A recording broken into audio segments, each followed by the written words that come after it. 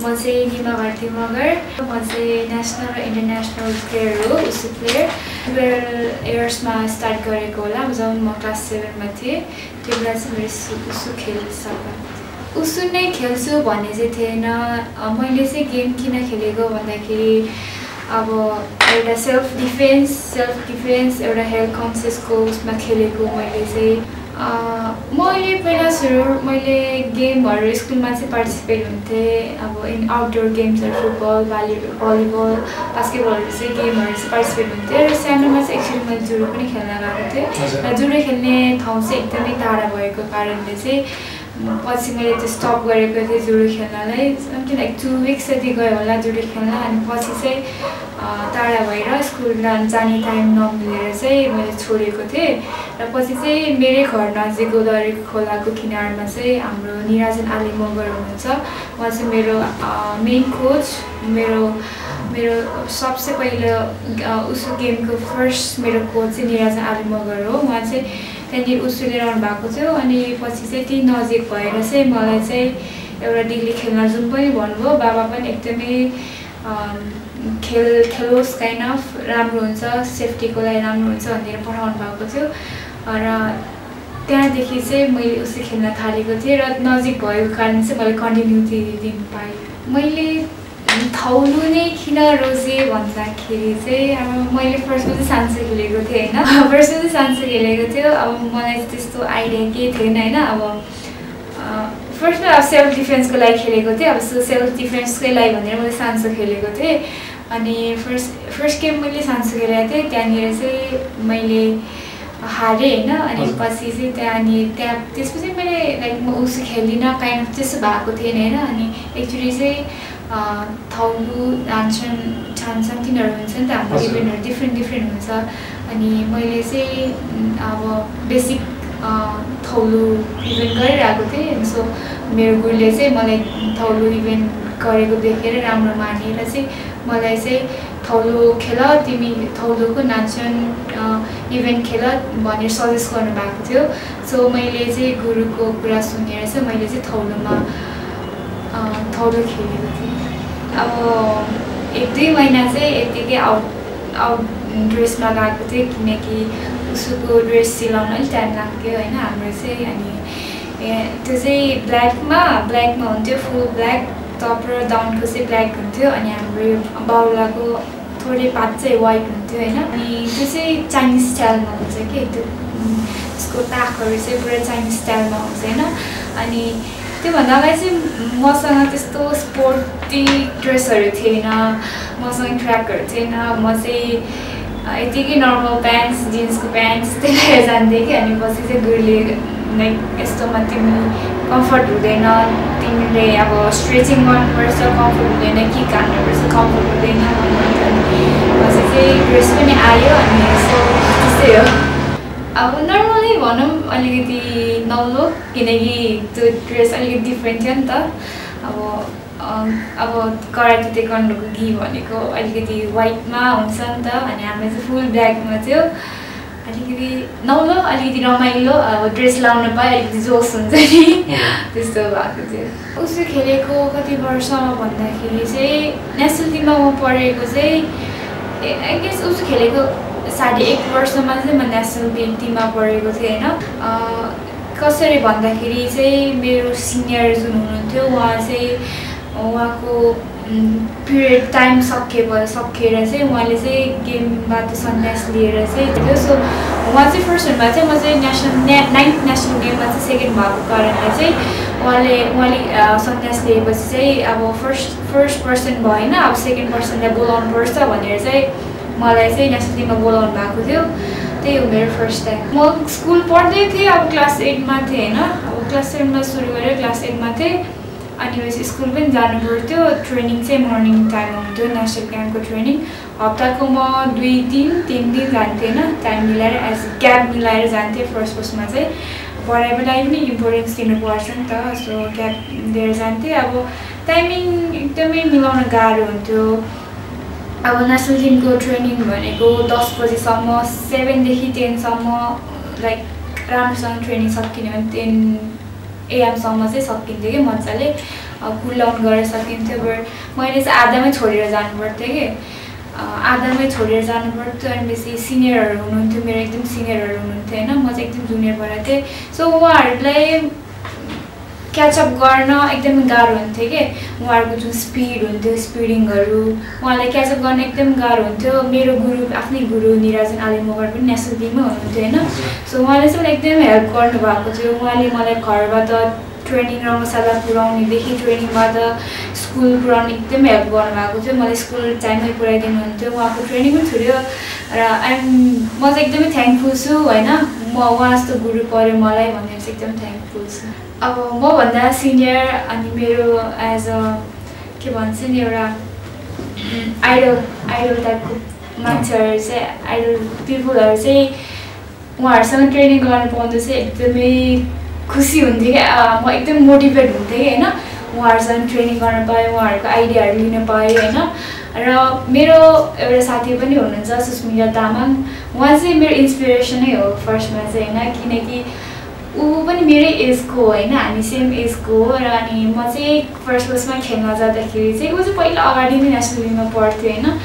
अनि मेरो गुरु पनि नेसनल हुनुहुन्थ्यो अनि उहाँले चाहिँ धेरै भन्नुहुन्थ्यो कि सुस्मिता तामाङ भन्ने सानी छ त्यो पनि एकदमै मेहनतिलो छ उसले यस्तो राम्रो खेल्छ ऊ नेसनल पढ्छ यस्तो यस्तो भन्दाखेरि चाहिँ हो कस्तो राम्रो कस्तो खतरा होला त्यो केटी काइन्ड अफ हुन्छ नि।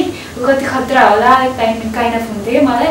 र पछि चाहिँ नेसनल टिममा पढेर चाहिँ उसँग ट्रेनिङ गर्न पाउँदाखेरि चाहिँ म एकदमै खुसी थिएँ कि?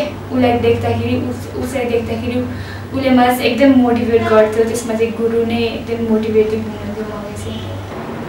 अब मैले चाहिँ अब गेम खेल्ने स्टार्ट भएदेखि नै अब फर्स्ट फर्स्टमा चाहिँ त्यति गेमहरू पार्टिसिपेट हुँदाखेरि चाहिँ मैले त्यति एचिभमेन्टहरू लिएर आइनँ तर मैले थौलो इभेन्ट चेन्ज गरेर म जुनियर गेम खेल्नु पर्थ्यो स्कुल गेमहरू त्यो खेल्दाखेरि चाहिँ म जहिले अब फर्स्ट गोल्ड मेडल लिएर आउँथेँ होइन।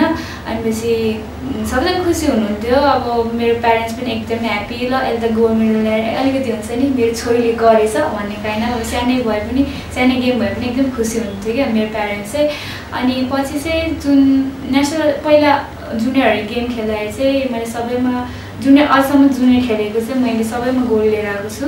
र त्यसपछि म नेसनल टिममा पढेँ। नेसनल टिममा पढेपछि चाहिँ अब अब हाम्रो टेन्थ नेसनल गेम भयो लुम्बिनी कप लुम्बिनी च्याम्पियनसिप। त्यसमा चाहिँ मैले एकदमै वर्स पर्फर्मेन्स गरेँ कि अब म मेरो पोजिसन चाहिँ डाउन भयो कि? एकैचोटि थर्डमा झरेँ। थर्डमा झरेपछि चाहिँ a kind of ego hurt हुन्छ नि। ल मैले मेरो एकदमै इगो हट भएको थियो होइन? मैले अब मिहिनेत गर्नुपर्छ। म गर्छु अब नेक्स्ट नेक्स्ट नेक्स्ट जुन गेम हुँदो त्यसमा म एकदम मिहिनेत गरेर म एचिभमेन्ट ल्याउँछु। फर्स्ट पोजिसन मै लिएर आउँछु काइन्ड अफ भएर काइन्ड अफ त्यस्तो थिङ्किङले चाहिँ मोटिभेट भएर चाहिँ मेरो टर्निङ पोइन्ट त्यही हो। अब मैले टेन नेसनल गेममा थर्ड लिएर आएँ होइन? अनि त्यसपछि चाहिँ त्यसपछि चाहिँ अब मैले मेहनत गरेँ होइन? मेहनत गरेर चाहिँ अनि पछि नेक्स्ट गेम चाहिँ अब एसियन गेमको सेलेक्सन थियो होइन? एसियन गेमको सेलेक्सन थियो अनि एसियन गेम चाहिँ हाम्रो कोरियामा हुन लगाएको थियो होइन? Two thousand फोर्टिनमा two thousand fourteen South Asian के सरी एसियन गेम लगाइरहेको थियो सिलेक्सन भयो। सेलेक्सनमा मैले चाहिँ त्यो सेलेक्सन चाहिँ मेरो एकदमै हुन्छ नि? मेरो मेहनत हुन्छ नि मेरो प्यारेन्ट्सको एकदमै मोटिभेसन प्लस मलाई इन्करेज गर्नु भएर चाहिँ मैले त्यो त्यो मैले एकदमै मिहिनेत गरेर लिएर आएको थिएँ मैले त्यो गोल्ड मेडल होइन? त्यो पोइन्ट चाहिँ एकदमै ह्याप्पिएस्ट मोमेन्ट थियो जस्तो लाग्छ मलाई। साउथ एसियन गेम्समा मेडल ल्याउनु भन्दा पनि मलाई चाहिँ त्यो एसियन गेममा सेलेक्ट एसियन गेम सेलेक्सनमा सेलेक्ट हुनु नै ठुलो कुरा जस्तो लाग्छ डिसमोटिभेट पनि हुन्छ कहिलेकाहीँ होइन? अब त्यही हो। मैले एसियन गेममा जति मेहनतले मैले ट्रेनिङ गरेर हार्ड ट्रेनिङ गरेर मैले चाहिँ सेलेक्ट भएको थिएँ र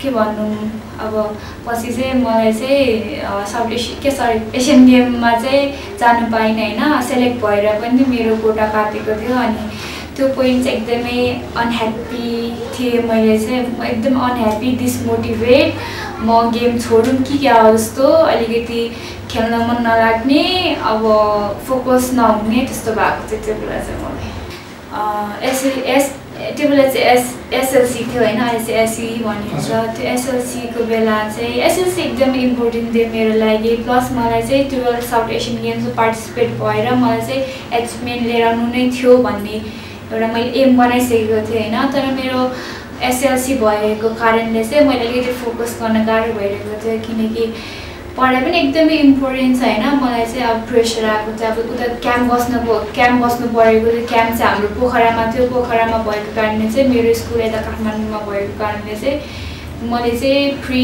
प्रि बोर्डहरू चाहिँ दिन पाएको थिएन होइन? सो मलाई चाहिँ अब टिचरहरूले चाहिँ पहिल्यैदेखि तिमी गेममा किन यति फोकस गर्छौ? पढाइले मेन फोकस तिम्रो पढाइमा हुनुपर्छ। तिम्रो गेम खेल्यो के हुँदैन काइन्ड अफ त्यस्तो हुन्छ नि। किनकि टिचरहरूले नि एकदम केयर गर्नुहुन्छ नि त पढाइ एकदमै इम्पोर्टेन्ट छ। टिचरहरूलाई नि अब स्टुडेन्ट नबिग्रोस् होइन? उहाँहरूले के थाहा त मैले यस्तो एचिभमेन्ट मैले यति मिहिनेत गरेको छु भने होइन? उहाँहरूले चाहिँ मेबी सोच्नु भएको थियो होला हावातालमा यतिकै उसको टाइम वेस्ट गरिरहेछ भनेर सोच्नु उहाँहरूले सोच्नै भएको थिएन कि। फर्स्टमा चाहिँ उहाँहरू एकदमै एङ्ग्री हुनुभएको थियो। अनि मैले प्रि बोर्ड पनि दिएन। मैले एकदमै के भनौँ रुल्सलाई ब्रेक गरेको थिएँ होइन? रुल्सलाई ब्रेक गरेको थियो सो उहाँहरू चाहिँ एकदमै एङ्ग्री हुनुभएको थियो। अनि पछि पछि चाहिँ अब मैले एचिभमेन्ट लिएर आएपछि चाहिँ उहाँहरू उहाँको उहाँहरूको रियाक्सन चाहिँ एकदमै के भनौँ उहाँहरू उहाँहरू नै एकदमै ह्याप्पी हुनुहुन्थ्यो कि? मलाई मेरो एचिभमेन्ट देखेर कि? अनि एकदमै ह्याप्पी हुनुहुन्थ्यो। उहाँहरू उहाँहरूले चाहिँ म जस्तो स्टुडेन्ट पाएर एकदम प्राउड काइन्ड अफ फिल भएको थियो कि उहाँहरूलाई चाहिँ। त्यसको तयारीको लागि अहिले चाहिँ हामीले क्रुज क्याम्पमा राख्नुभएको छ र हाम्रो चाहिँ अब सेलेक्सन भएपछि चाहिँ हाम्रो चाहिँ बन्द अब क्रुज क्याम्प मेन क्रुज क्याम्प चाहिँ सुरु हुन्छ होइन? सो हाम्रो ट्रेनिङ चाहिँ एकदमै राम्रो भइरहेको छ प्रिपरेसन एकदमै राम्रो भइरहेको छ हाम्रो कोचेसहरूले चाहिँ एकदमै राम्रो प्रोटेक्सन दिइराख्नु भएको छ होइन? ट्रेनिङ ट्याब सेड्युलहरू मिलाइदिनु भएको छ सकेसम्म हाम्रो लागि राम्रो होस् ठाउँहरू मिलाइदिनु भएको छ होइन? सो राम्रै भइरहेछ अहिलेको ट्रेनिङ मैले लिएर आएँ मैले प्रुभ गरेँ आफूले आफूलाई होइन? म सक्छु I'm capable of that position त्यस्तो त्यस्तो फिल भइरहेको थियो मलाई होइन?